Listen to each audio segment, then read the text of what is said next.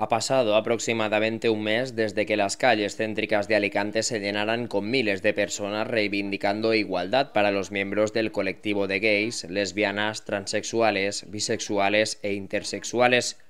Pero sus integrantes no paran de convocar más iniciativas para normalizar una serie de roles e identidades de género que, en pleno siglo XXI, aún siguen siendo un tabú para buena parte de la sociedad. Se trata de la decimoquinta edición de la Levante en Tienda, un campamento al que están convocadas todas aquellas personas que quieran conocer más de cerca cómo desenvolverse en situaciones relacionadas con la sexualidad, la participación, el aprendizaje mediante talleres o simplemente pasar un buen rato. La acampada tendrá lugar el próximo fin de semana en la localidad alicantina de Viar y tiene como objetivo último visibilizar a las personas LGTBI para alcanzar su total inclusión en la sociedad. El evento en tienda es un encuentro LGTBI estival promovido por diferentes asociaciones LGTBI de la comunidad valenciana y que este año, pues como hemos dicho, cumple su eh, decimoquinta edición.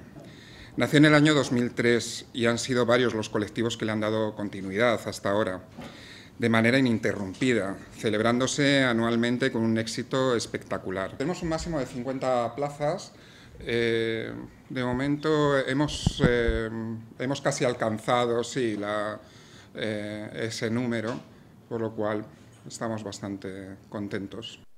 Levante Entienda se enmarca dentro de la línea activista que el colectivo Alicante Entiende defiende para reivindicar la igualdad de todas las personas, independientemente de su identidad sexual. Siguiendo la temática de la fiesta del orgullo en Alicante, la identidad trans tendrá una elevada carga en la acampada. Este año supuestamente es el año trans por excelencia y a mí me, está causando un cuestionamiento de si realmente no dejamos de ser un hashtag para este año.